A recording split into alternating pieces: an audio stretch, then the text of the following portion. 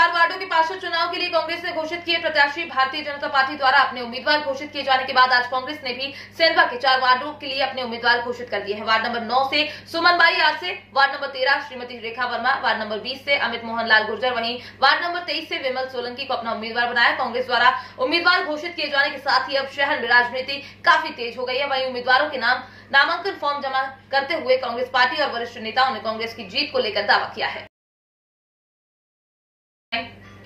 सेंधवा में कल आने वाली शिवाजी जयंती के अवसर पर सेंधवा पाटिल कुंभी समाज द्वारा विशाल वाहन रैली निकाली गई। वाहन रैली शहर के प्रमुख मार्ग से होते हुए झांकी मार्ग से निकली। वाहन रैली में महिलाओं द्वारा बढ़ चढ़कर हिस्सा लिया और अपनी पारंपरिक वेशभूषा तथा सर पर साफा पहनकर नारी शक्ति का परिचय दिया।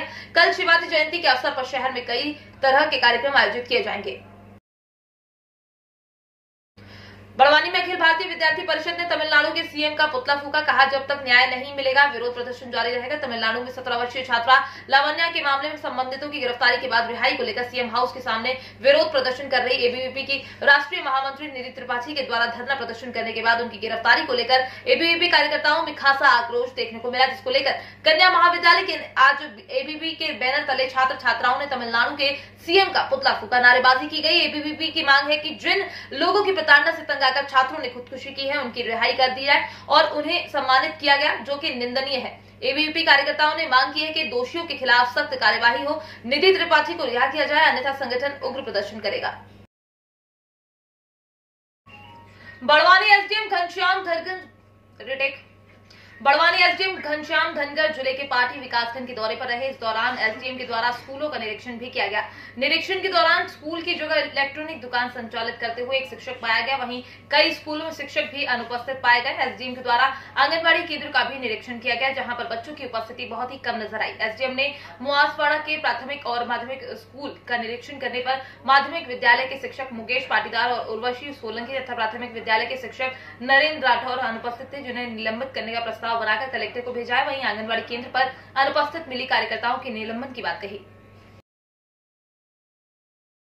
इंदौर में कमिश्नरी सिस्टम से परेशान दर्जनों वकीलों ने इंदौर पुलिस कमिश्नर को ज्ञापन दिया है। दरअसल वकीलों की मांग है कि अलग अलग 121 पुलिस न्यायालय चलाने के बजाय एक ही स्थान पर पेशी कर दी जाए। पुलिस कमिश्नरी व्यवस्था लागू होने के बाद धारा एक सौ इक्यावन, एक सौ सात, एक सौ आठ जैसी धाराओं में बंद मुलजिमों की पेशी एसडीएम कोर्ट की बजाय अब पुलिस न्यायालय में होती है। लिहाजा इससे सबसे ज़्यादा परेशान वकील हो रहे हैं, क्योंकि वकीलों का रोज अलग अलग जोन अंतर्गत बनाई गई पुलिस कोर्ट में आना जाना पड़ता है।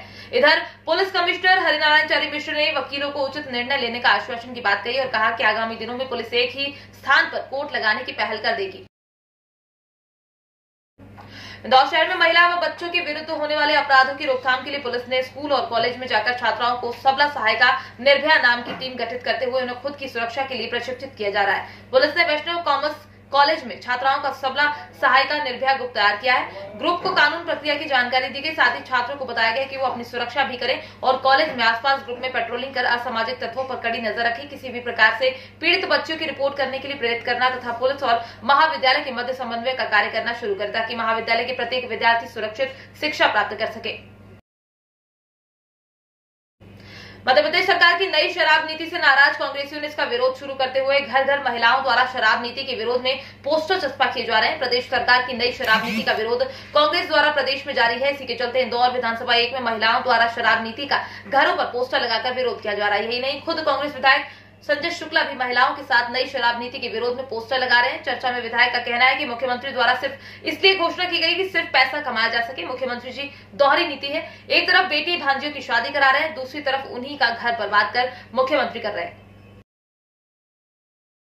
इंदौर क्राइम ब्रांच और चंदननगर पुलिस ने संयुक्त कार्यवाही करते हुए चंदननगर थाना क्षेत्र के गंगानगर के एक मकान में ब्रांडेड कंपनी की नकली टेलकम पाउडर बनाने की शिकायत पर टीम ने दबिश देते हुए मौके से 10 लाख रुपए के नकली टेलकम पाउडर सहित तीन आरोपियों को गिरफ़्तार किया है। क्राइम डीसीपी निमिष अग्रवाल ने बताया कि आरोपी ब्रांडेड कंपनी के छोटे, खाली, बड़े डिब्बे सावर रोड की स्थित कबाड़ी से दस से पंद्रह रुपए में खरीद कर उसमें नकली पाउडर भरकर चालीस से अस्सी रुपए में बेचते थे। टीम ने तीन आरोपी इस्माइल हकीमुद्दीन और मुकेश को गिरफ़्तार किया है। डीसीपी के अनुसार आरोपी को माल इंदौर और उसके आसपास के ग्रामीण जिलों में बेच दिया करते थे।